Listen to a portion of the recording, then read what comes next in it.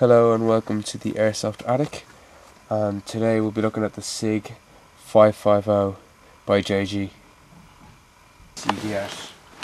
The gun itself, not the ACOG, you get the sight rail, a cheap Chinese um, branded battery and a high cap mag. So it's just to show what it looks like, you know.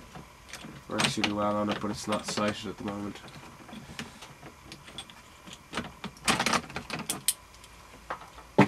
And I've got the Firefox battery in there, so I'll leave that there. The rate of fire is brilliant, as you'll see in a minute, and uh, build quality is pretty good. And I've only had one small issue, which was the retaining pin here wasn't properly assembled, but I fixed that, so it's grand. The mag is a, piece of junk, but um, I can get some TM ones, and they'll be grand. So stick with that for now. So important bit shooting test the only longer barrel you can currently get is a PSG one barrel so this should be pretty accurate. And from the test I did outside it seems to be. But uh, let's just see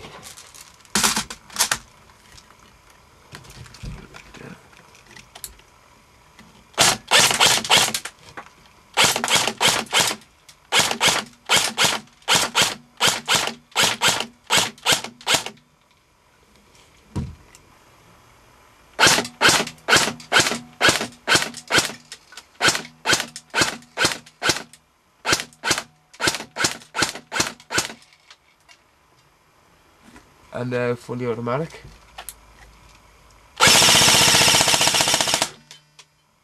Is brilliant.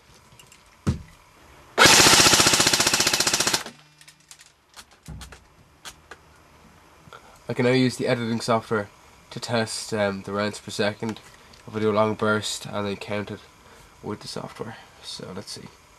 And I'll display it at the bottom of the video. Should do.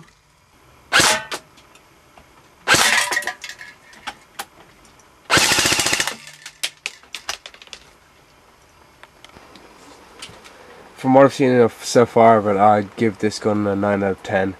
Um, it's great weight, 3.6 kilos, great rate of fire, very long and um, very accurate, and I don't really have any flaws with it. And for 100 euro, and then 110 euro, and 25 euro VAT and that's shipped to Dublin from China. It's a great bargain. Um, and you have to but be warned, you have to get it downgraded first because it does come out of the box at 350 normally, which is completely legal in this country.